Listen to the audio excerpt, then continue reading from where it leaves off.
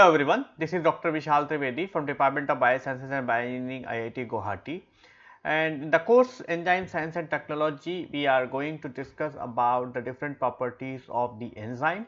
So in this context, uh, in today's lecture, we are first going to discuss about the uh, basics of enzymes and then we are also going to discuss about the uh, different properties of the enzymes. So, when we talk about the enzymes, we always think about the biological system, right?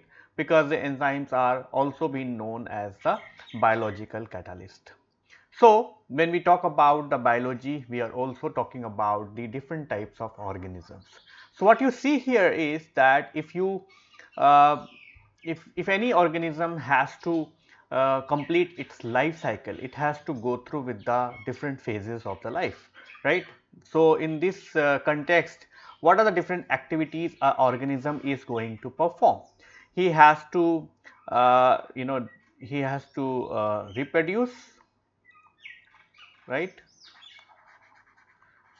He has to grow in size and he also has to uh, do all sort of uh, running the uh, different types of physiological processes, right. So, it has to also run the physiology and all these processes are actually converging to a central point or the central place which are related to the production of the energy. So, it is actually being associated with energy and you might know that if I have to if, if, if organism has to grow it actually has to synthesize the different types of molecules like it has to synthesize the proteins, it has to synthesize the uh, lipids right? Because the lipids are actually going to be a part of the uh, you know the plasma membrane.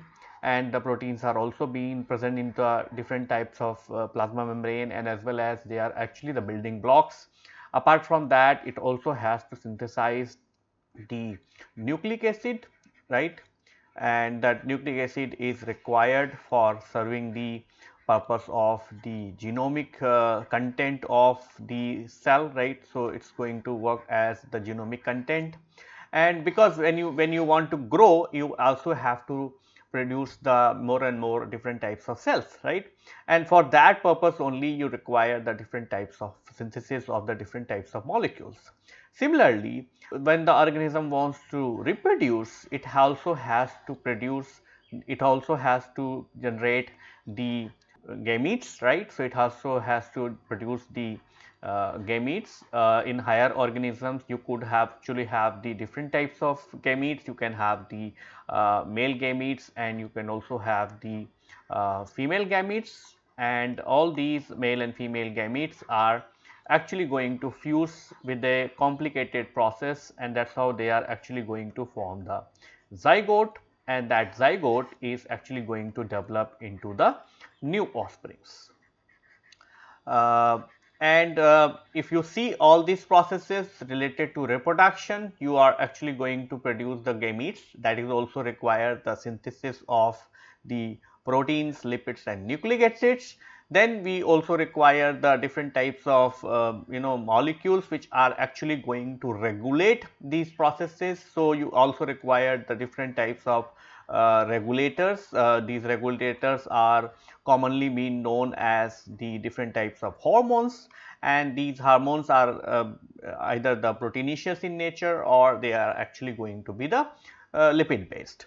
So, these hormones regulate the different phases of the development and that is how you are actually going to have the new offsprings.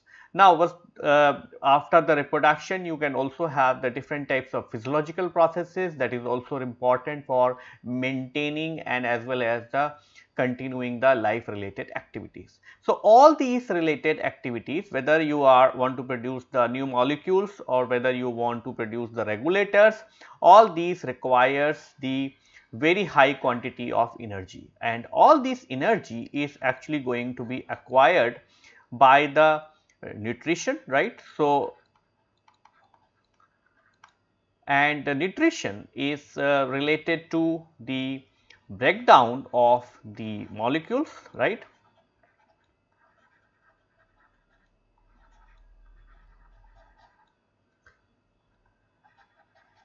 which means you are actually going to take up the uh, polymeric uh, compound right? And that polymeric compound is actually going to be converted into the monomeric compounds. For example, you can actually be able to convert the starch into the monomeric compound like the glucose. And then the glucose will actually going to uh, enter into the uh, in, uh, into the metabolic reactions and that is how the glucose is actually going to produce the energy. The same is true for the other biomolecules like the lipids, uh, like the nucleic acids and all that, right. So, when we talk about the metabolic reactions, so energy you are actually going to acquire by the two different types of metabolic reactions. One is called as the uh, anabolic reactions and the other one is called as the catabolic reactions. Anabolic reactions are responsible for the synthesis of new molecules and the catabolic reactions are required for the generation of catabolic reactions are actually going to have the breakdowns of the molecule and that is how they are actually going to have the generation of the energy.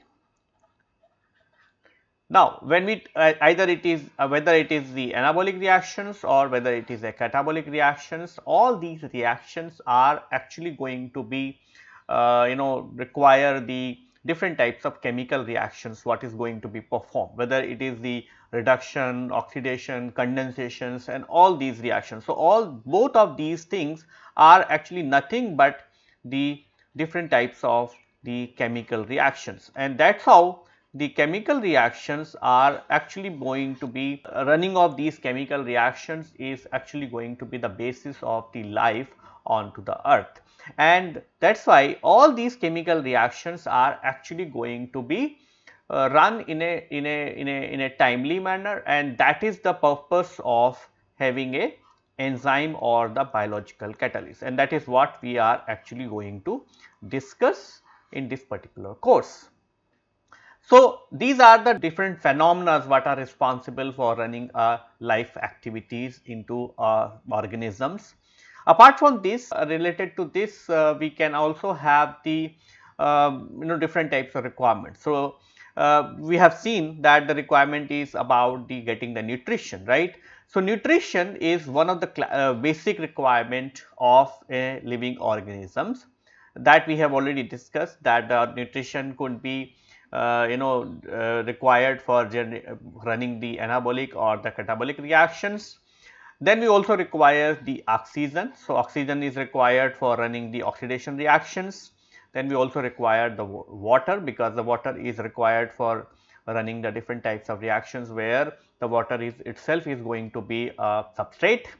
Then we also have to maintain the body temperature and we also have to maintain the uh, pressure within the body actually. So, as far as the nutrition is concerned, the, uh, the organisms have adopted the different types of mode of nutrition. So, it could be either the autotrophic nutrition or the uh, heterotrophic nutrition, right. So, uh, and the machinery to acquire the nutrition in the autotrophic nutri nutrition or the heterotrophic nutrition is going to be different. So, autotrophic nutrition is the molecule is present in the plants where they are actually going to uh, acquire the uh, energy or acquire the energy from the sun and that is how they are actually going to have the uh, chemical synthesis of molecules.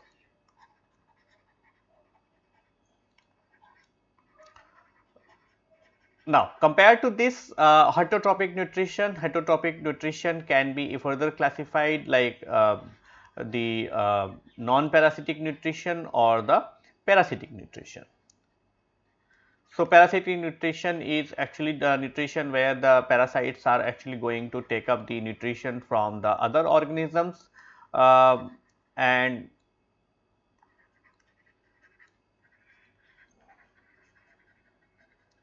whereas in the non-parasitic nutrition they are actually going to take up the nutrition from the plants and that is how they are actually going to synthesize their own uh, food actually. Uh, once you have the food it is actually going to be uh, burned by the oxygens and that is why we require the oxygen right. So, food is actually going to be uh, burned by the oxygen that is how it is actually going to produce the energy and these kind of reactions which are responsible for generating the energy from the food are actually be a part of the catabolic reactions and all these reactions where the enzymes are participating actively into the reactions are actually we are going to discuss in detail. Then the water, so when you actually have the polymeric compounds, they are or polymeric uh, carbohydrates for example like starch, it has to be simplified and that is how it is actually going to give you the monomeric glucose. Because most of these uh, uh, catabolic reactions are actually taking up the monomeric molecule as the entry point. For example the glycolysis Krebs cycle and all that. So, that is always been achieved with the help of the water. Because water is actually going to serve as a interesting substrate to break down the uh, complicated uh, polymeric compounds such as starch or glycogen and uh, other kind of uh, polymeric substances. And this process is very actively being done in our uh, you know our alimentary canal where in the process of digestions the polymeric compound are actually going to be converted into monomeric compound and then they are actually going to absorb into the blood and then they are actually going to be utilized into the catabolic reactions for generating the energy. Apart from that we also have to maintain a normal body temperature for example the 37 degrees Celsius. So, that is only in the uh, in those organisms where we, we, which are actually going to be warm blooded animals. In the cold blooded animals uh, they are actually not going to maintain the body temperature but they will actually going to maintain the uh, you know temperature. And that is why they will actually will not be able to be very active uh, under the adverse temperature conditions and then we also have to maintain the uh, atmospheric uh, temperature so that all the molecules would be under the uh, you know uh, adequate conditions to perform the different types of functions. Apart from so all these molecules are actually or all these processes are actually going to happen and that is how it is actually going to be responsible for the life of organism. But most of these processes may actually go bad right, so they may actually go bad in terms of uh, some sometime you may not have the adequate amount of oxygen, sometime you may not have the adequate amount of water for example. So, on those conditions these uh, processes are actually going to be disturbed and that is why it is important that all these processes has to be tightly controlled and that is how it is actually going to maintain the life. So, these are the different types of activities what are actually responsible. So, one of the major challenges is that you have to maintain the body's equilibrium under the non-changing conditions. Okay. This means you have to maintain a relatively stable internal environment regardless of the external conditions and then you also have to allow the changes within the narrow limit so that you can be able to accommodate the subtle changes. In the for example you can actually have the you know the fever right? So you can also have a fever and the temperature will go up from 37 to uh, you know 37.5 or uh, something like that right? So that is allowed. And then all these processes are under the dynamic equilibrium. And because you don't want the changes into the body the body has different types of physiological processes to control these processes so, what are the different physiological processes? We have the digestion right. So, digestion is actually the main purpose of digestion is that it is actually going to take up the complex, food and it is actually going to convert that into the simple uh, nutrition and this simple nutrition is then actually going to be taken up, up by the organism and that is how it is actually going to produce the energy. This simple nutrition is going to be taken up by the circulatory system and that is how it is actually going to distribute the nutrition into the different parts of the body. Uh, that nutrition is also required for the musculatory system to perform the locomotion and then it also require for you know nervous system, endocrine systems and excretory system. So, all these physiological processes are required for maintaining the constant internal environment and as well as they are also going to help in terms of the in, in terms of running the different processes. And all these processes are totally controlled by the enzyme. So, uh, whether you talk about the digestion which we are actually going to discuss in detail the, there are different enzymes which are actually going to make the breakdown of the complex food into the simple nutrition or whether you talk about the circulatory system, there are so many enzymes which are actually being participating into the uh, like blood clotting and all other kinds of processes or whether you talk about the muscular system where you have the many type of ATPases and all these ATPases are participating into the generating the energy, generating the potentials and all that. And same is true for the nervous system also. In the nervous system also you have the so many signaling molecules which are actually participating in relaying the signal from one part of the body to another part of the body. And then endocrine system we, these are the molecules uh, which are actually these are the system which is actually going to produce the regulatory molecules and these regulatory molecules are uh, you know be a part of the uh, controlling the different types of processes and then we have excretory system. In the excretory system also we have the different types of enzymes which are actually going to participate or which are going to regulate the uh, uh, renal activities and that is how they are also going to be uh, you know contribute in terms of the uh, running the physiology of the organisms. So, to make it very simple, let us take an example of the uh, very simple uh, nutrition. Okay, so if we talk about the pizza, for example, if you if you take a bite of the pizza, what are the things is actually going to start so that you can be able to uh, produce the energy and that's how you are actually going to have to maintain the life on the earth. Okay so pizza is actually being made up of of the three molecules. One is the bread right? That is the bread right? The base it also can have the oil or the butter right what you are actually going to use and it also going to have all this kind of uh, uh, vegetables and other kinds of uh, cheese right. So, it also can have the cheese. So, that is actually going to be a source of proteins and when you take the bite of the bread right it is actually going to enter into the mouth right and from the mouth it actually will enter into the alimentary canal. So, within the mouth the bread is actually going to be digested by the enzyme which is called as the uh, uh, alpha amylase right. So, or ptyalin right. So, alpha amylase or ptyalin and that is actually going to convert that into the maltose okay and that maltose is actually going to give you the taste right and ultimately the bread is actually going to be get converted into the glucose after the complete digestion and that is how the glucose is actually going to uh, you know be available for producing the energy. Uh, what you will see here is that there are so many enzymes which are actually going to participate into this process. Okay. Similarly, when you have the oil, the oil is nothing but the lipids, right. So, they are actually going to be taken up and they will present, they will go into the alimentary canal and they will actually going to produce the uh, fatty acids, okay. And the fatty acid is also going to uh, be available for producing the energy and what you see here is there are so many enzymes which are actually going to participate and what you see here is not only the enzyme but it also requires the uh, like water in both the places. It's actually require lot lot of waters. And then we also have the proteins right? So protein will also also going to enter into alimentary canal.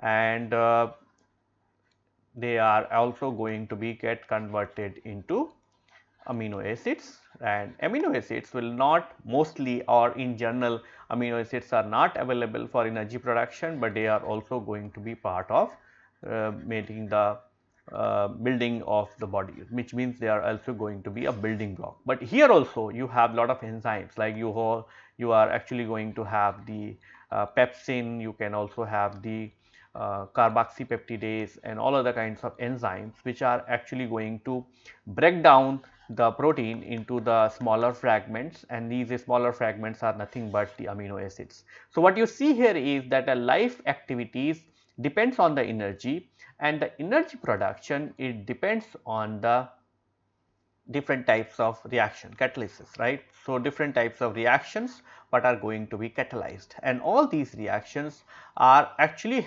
going to be uh, very fast uh, if we want to produce the energy at a very very fast rate right and that is how the place where you are actually going to utilize the enzyme and enzyme or the biological catalyst.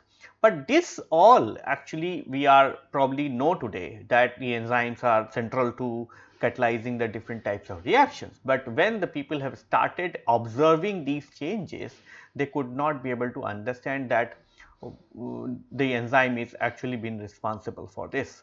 So, this happens when the people were started looking at a process where they were actually trying to mimic the digestion like conditions under the in vitro conditions and they could not be able to do it because they were not aware of the uh, biological catalyst. So, there was a scientist, uh, Russian scientist Kirchhoff and what he was doing is he was actually trying to study how the starch is getting converted into the sugar. Okay.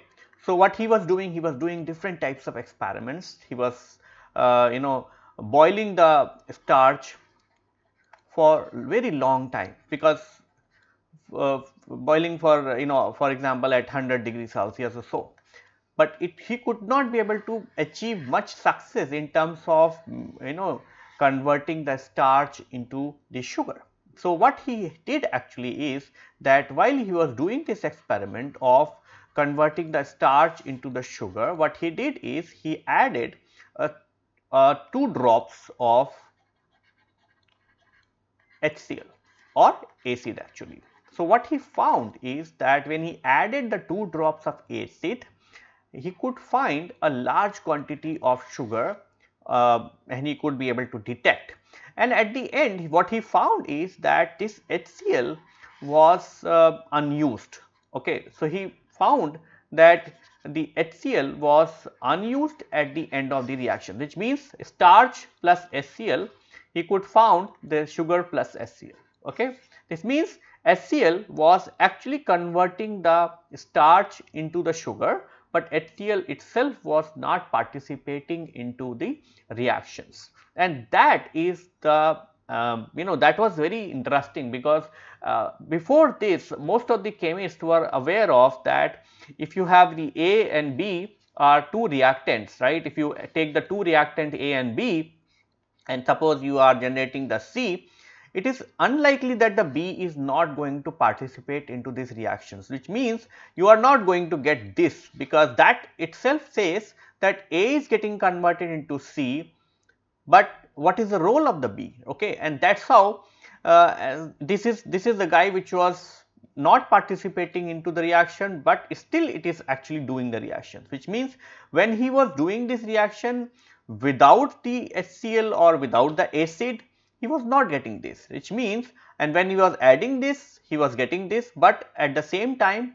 the acid was not being able to participate into the reaction. Acid could not is was not being utilized and that is how the uh, this phenomena was always is, is been the uh, first event which actually leads to the coining the term called catalysis. The catalysis is a term which says that it is actually a process in which the the the, the substance are actually going to be get converted into the another substance which means the A is actually going to be get converted into the B, but the reactants or the, the, the catalyst is actually not going to be participate into these reactions. Well, for example, in this case the starch is getting converted into sugar, but HCl is not participating into this event and that is how uh, there is a new complete field of catalysis which is actually being evolved. So, people have started developing the different types of molecules and people have started developing the different types of factors so that you can be able to do this because earlier when he was boiling the you know even the uh, starch for a very very high temperature he could not be able to achieve much success because the it, the reaction was still happening, but the amount of sugar what he was getting from this uh, process was very very low. So that uh, that actually was you know um, uh, you know started a new a new um, uh, branch of science which says that that you can be able to enhance the reaction without even uh, consuming or without even consuming a molecule and that is how that process is called as the catalysis by the Swedish uh, chemist Berzelius. This actually initiated the process of discovering the different types of catalyst which can actually be able to enhance the reactions. And one of the things what people have always been facilitated by the that the when you take the meat or when you take the food it is actually going to be digested. So, people have started uh, looking at the identification of the factor which are responsible for converting the meat into the uh, for example the carbohydrate or meat into the protein right. So, they started developing. So, what they have done is they have added the meat and then they added the stomach uh, secretions okay and what they could found is if you don't add meat is not going to be get converted but when they add the meat stomach secretions the meat is actually going to be uh, get converted into the process uh, into the protein and it get digested similarly what they have done is they have also started the you know con converting the starch into the sugar with the help of the plant extracts okay? So because the plant extracts are also going to provide lot of catalyst and that's how they are actually going to be converted. And that's how the mm, the the uh, the french chemist the Payen was the first to discover an enzyme which is called as the diastase in the year of 1833 and diastase is a digestive enzyme which was uh, can be able to convert the uh, meat or food into the uh, simple molecules. And it was extracted from the malt sugar. And that is how you know that today also we actually take up the diastase which are mostly being present in the most of these uh, digestive tablets or digestive syrups. And that actually helps in digestion of the food. So, that is the first enzyme. So, so first enzyme which is going to be uh, you know uh, isolated or what is being reported is the diastase, the digestive enzymes and uh, that actually started the discovery or the uh, started the branch of the, uh, the science which is called as the enzymology. So, uh, the enzymology is the branch of science which is studying the different properties of the enzyme. Okay. But the enzymology took a very very long uh, journey through which the enzymology is being developed and that is the enzymology what we are actually uh, you know so developed that we could be able to do many types of experiment we could be able to do lot of things. So, enzymology uh, as the name suggests is actually the field of science which study the enzymes and uh, the first enzyme when the people have started uh, developed uh, you know uh, uh isolated the diastase they started studying the different properties. But think this is didn't start on the day 1 when the people started the diastase. The enzymology developed even before that also. So, let us see what are different discoveries uh, happened so that you can be able to have the well developed enzymology. So, let us see uh, what are the different uh, development happens when they were developing the enzymology.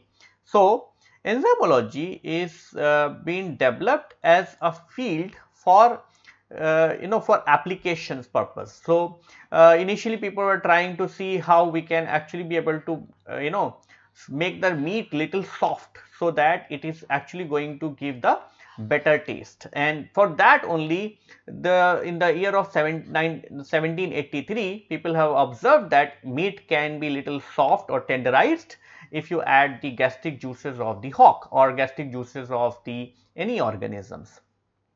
That actually is been you know said that there is something in this gastric juice which is actually making the meat little soft and that is how in the year of 1814 uh, the Kirchhoff observed that the proteinaceous component of the wheat was capable of converting the starch into the sugar. So, this is another way of uh, saying that the starch can be converted into sugar and that is how people think that there is a, there is some factor which is converting this right. And then the in the year of 1830 the Leuchs described the diastatic action of the salivary ptyalin. So, this is another enzyme what is present in our mouth right buccal cavity and that is responsible for also the same activity like converting the starch into the sugar. And then in the 1833 we discovered the first enzyme, the first enzyme is diastase right, the digestive enzymes right. And then in the year of 1894 because once you and you discovered the enzyme people thought that okay let us see how the enzyme works right. So, that also so how the enzyme works that is people was the first curiosity or first question people have asked and that is how in the year of 1894 the lock and key model was explained were, was proposed to explain the mechanism of enzyme action. You do not have to worry about this because we are actually going to discuss about lock and key model in the later lectures. Then the 1897 the people have started uh, making the cell free fermentations. So, before this fermentation was a big thing right because people were trying to convert one molecule into another molecule through the process of fermentations and so on. But all that was cell based where they are taking a sugar adding the yeast and then that is the yeast is converting the uh, sugar into the uh, alcohol but since they, they were aware of the enzymes, they know that there is an enzymatic activity which can convert the one biological molecule into another biomolecule, then they started developing the cell-free fermentation also. Then in the year of 1905, people have started developing the different types of cofactors. So, these cofactors are the molecules which are helping in the enzyme catalysis. Then in the year of 1926, the people have discovered the enzymes and they found that the enzymes are mostly being protein. So, in the year of 1926, people were not aware of the ribozymes. So, that is why the this is a general concept that the all enzymes are proteins. Okay. So, all enzymes are protein. Then in the year of 1950, the first immobilization of the proteins. So, people have tried to reuse because enzyme is soluble in water. So, when you want to you know uh, get the product, you are also going to get the enzyme. So, the people have started using the immobilization of enzymes so that the enzyme will remain within the vessel and then you can be able to keep catalyzing the same reaction again and again. Then in the year of 1951, the people have first sequencing of the enzyme is reported which is for the insulin and in the year of 1953 people have solved the structure of DNA because that has paved the way to actually know that okay this is the gene uh, which is responsible for the protein and that is how you can actually be able to utilize that information to produce this protein under the recombinant DNA technology. Then year 1958 another model was produced to explain the enzyme activity or the mechanism of action. So, that was called as the induced fit model to explain the mechanism of enzyme action. So, in the you see that in the year of 1894 people have discovered the lock and key model, but in the year of 1958 people have developed the induced fit model. Then in the year of 1958 the first protein structure was solved and that actually started the uh, another field which is called as the structural biology okay and that is responsible for understanding the structure function relationship of the different uh, protein or even the different part of the proteins. Then in the year of 1966 people have discovered the genetic codes and uh, that is how the uh, people started the you know knowing that this is amino acid code by this particular gene genetic code this amino acid is coded by the, this particular genetic code and that has a, uh, you know allowed them to clone that particular gene or clone that particular protein. Now in the year of 1968 people have discovered the first restriction enzymes. So, restriction enzymes are the enzymes which are actually degrading or which are uh, you know cutting the DNA. Then in the year of 1972 there was a first recombinant DNA which has been produced and that actually has uh, uh, paved the way in which you can actually be able to clone the gene for the enzyme production right?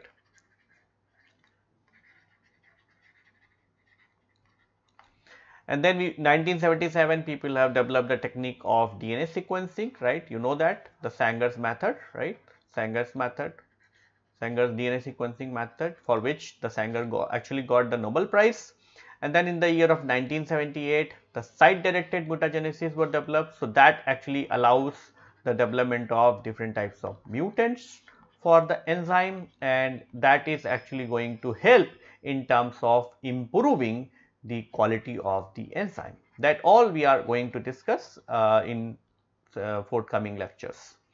Then in the year of 1978, the first recombinant protein that is the insulin is being produced and that is being utilized for the treatment of the diabetes. Then in the year of 1980, the PCR was discovered by the Kary-Mullis, right?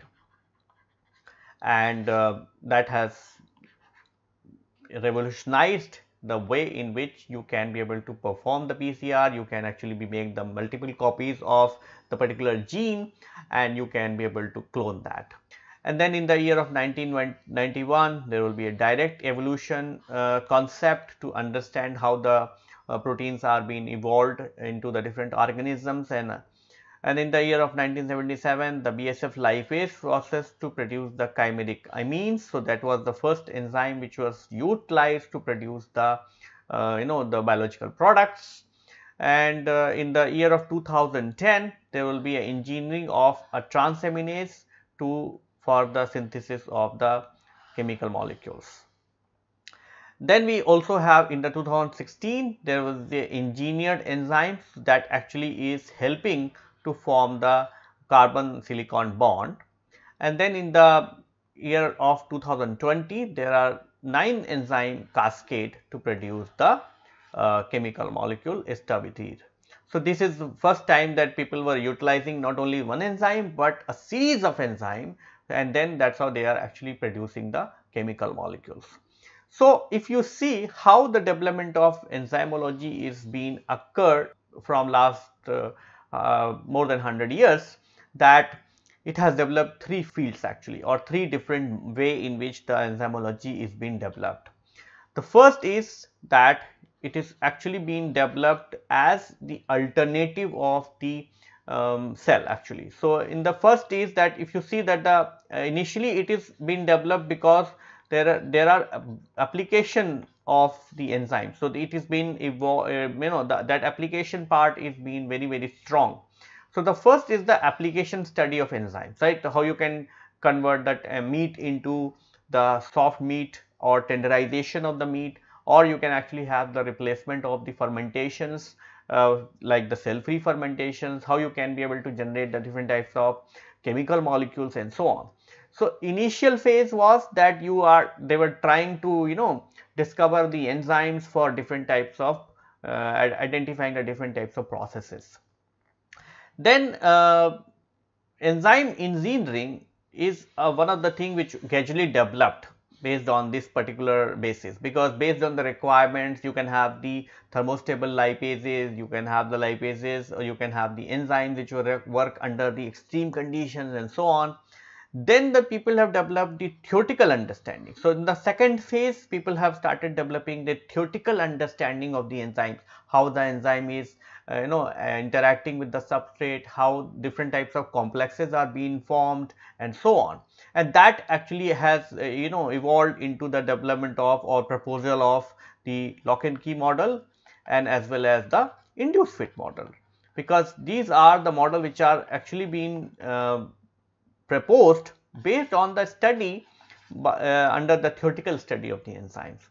Uh, and that actually helped in terms of enhancing the catalytic properties of the enzymes so that they can be able to process the same event even faster right. So, you can have the more efficient enzymes And then the third phase is the modern enzymology. In the modern enzymology, people have started, you know, utilizing the molecular biology tools and the enzymatic engineering of the different types of enzymes, which means they were trying to develop the site directed mutagenesis, they were trying to do the uh, you know the evolutions and all those kind of parameters. They were trying to utilize the bioinformatics artificial intelligence and all those kind of Uh, you know things into the modern enzymology and that's how the modern enzymology is utilizing the different tools so enzyme molecule molecular biology is to reveal the relationship between the structure and the function of the enzyme as well as the catalytic mechanism and the regulation mechanism of the enzyme